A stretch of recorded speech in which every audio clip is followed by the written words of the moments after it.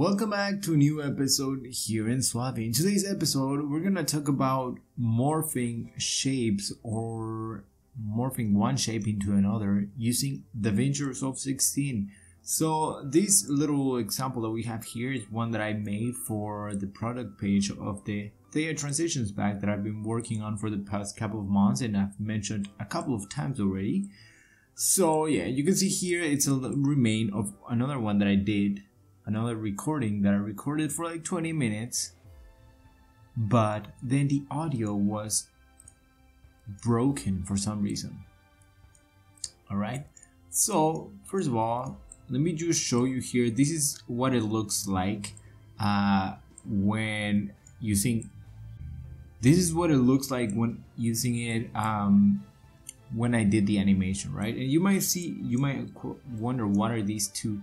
These two are simply there because I use them as the what do you call it as the base for um, shaping the form, right? So the first thing that we need, let's just get right into it. I'm gonna show you the basics. So then you can apply and it will be cool if you can make your own video and then upload it and tag us or let us know in the comments so then we can check it out. It will be a cool like I don't know, reaction video or whatever. I'm no I'm not a professional motion graphic artist or anything like that whatsoever. I just thought I would do it and I tried it and it worked. So then I was like, yeah, that would be a cool tutorial video, right? So I'm just adding this gradient right here just because right now. We're gonna press here too so we can see this background. And on this background, what we're gonna do is we're gonna add a polygon tool. And this polygon, we're gonna take the solid out and drawing with this polygon is what's gonna allow us to get whatever shape that we want. Um, so first, let's take this alpha, make it transparent. And while working, you can take the, well, let me just make it one screen. While working, you can uncheck these two so it actually really reduces the load on your system, right? Okay, so we have this polygon right here. The first thing that we need to do if we want to make a circle is we're gonna add an ellipse uh, tool right here, make it smaller. we're gonna hold control and select both of those. Then we're gonna go right here to the polygon and then we can click anywhere right here and then we're gonna drag this right on top of our line. Try to make it as accurate as possible, right? As close to it as possible. And then we're gonna create another point right here. We're gonna do four points, sort of like one on each corner. I know it's a circle and doesn't really have corners, but you know what I mean, right? Uh, yeah, we're gonna make this a little bit smaller. And the way that it works is we are gonna use this if we want to start with a circle we want to drag these holding control because if we don't it will make both of them and it will mess up the whole thing. So basically you want to do this for all sides.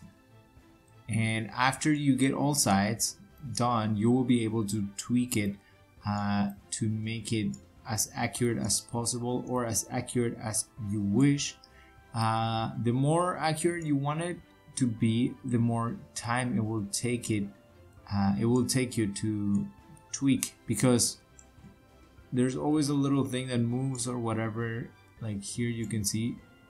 Um, so yeah you want to play around with these things right here so then you can get the shape as close as possible to a circle. So then we have our circle right?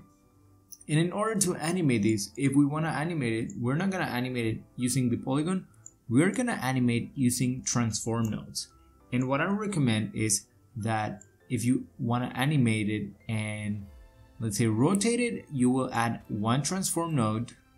If the, your shape is a circle, you want to add one transform node and make sure the pivot point, which is at X, if you click right here in the middle and press tab three times, it will select the pivot point.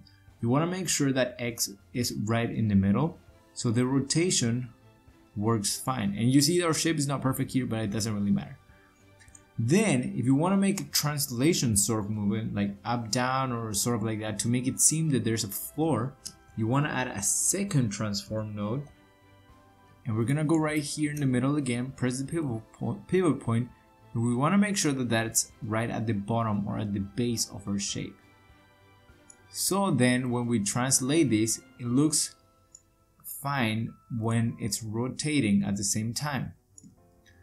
If you animate both of them, you're not able to do that because the pivot point being right here, it will make the whole thing spin like that. So it it doesn't really work um, if you try to do it that way, right? Okay, but we're not gonna animate anything right now. We're gonna just put it right there in the middle. Make sure everything is in the middle. And this one is right at the base of our shape. So let's just get right into the morphing shape uh, again. So the basics for shape morphing. The main thing that you need to take into account is what shape you want to use. You can use any image, but if you do an image like let's say the shape of somebody, it will take a long time because there are so many details. One thing that you need to do is basically you're gonna go here to the frame where you want this shape morphing or shape transformation to start.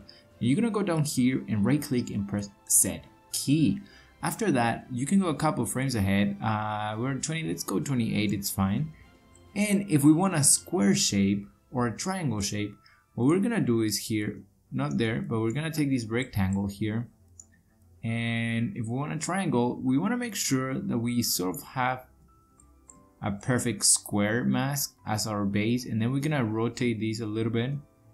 If we rotate these 90 degrees, whoop, not 90, 45, I'm sorry.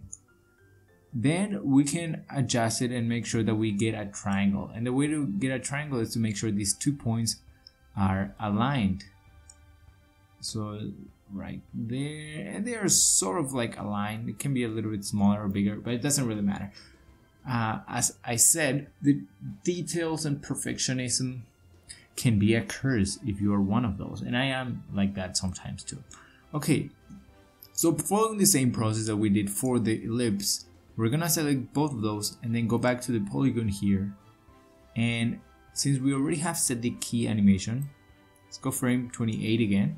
Um, when we move these, it will automatically create a keyframe. So we wanna go and move these right to the point where we want them to be. Let's say here, it's the middle, and then there. And this doesn't look like a triangle at all, right? So the way to do it to make it look and adjust the shape is you're gonna have to play with the angles again and sort of like put them right on top of the green line which is your base shape again and making these straight as straight as you can like that that's not a perfect triangle but it will do so you have here our circle and then it turns into a um, into a triangle. I'm sorry, I forgot the word. Yeah, and the reason why it's sort of like going back again is because there is a keyframe right here uh, of the circle again. For some reason, I don't remember creating it, but it doesn't matter.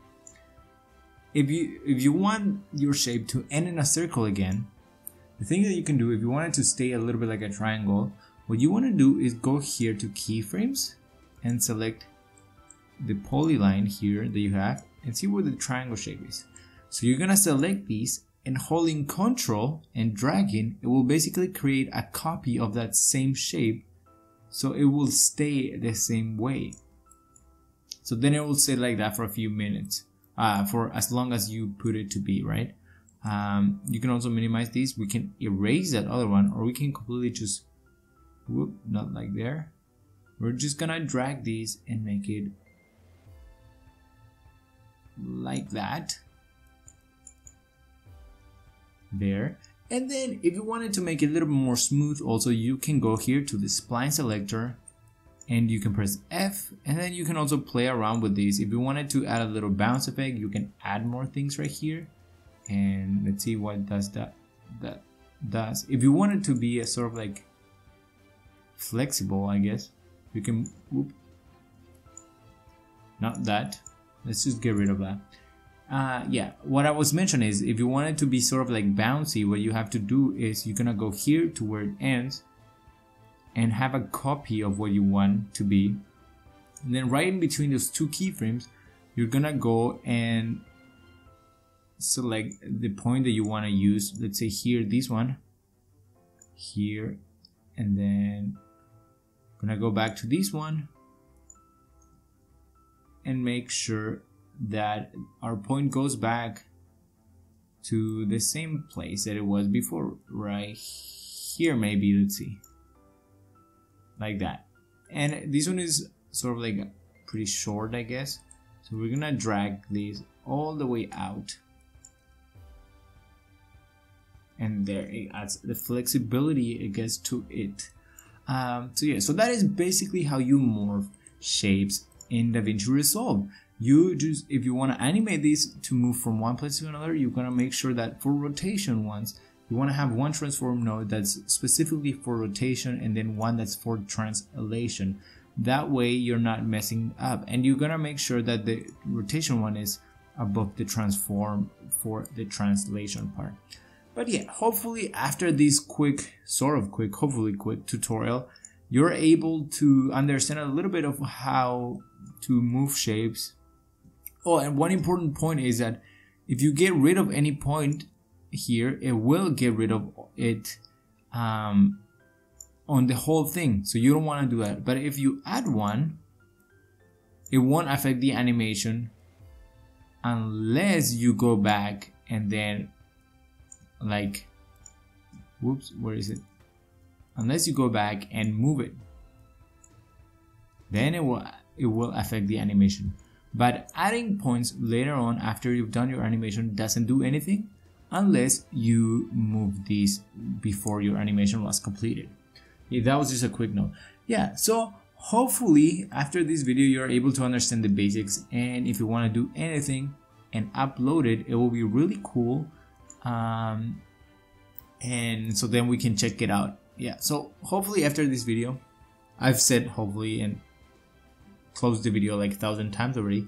Yeah, so I hope to see you in the next video here in SUALVI. Don't forget to leave a like if you did like the video. Don't forget to comment down below whatever you want us to know. Any feedback is always appreciated. I hope to see you in the next video here in SUALVI.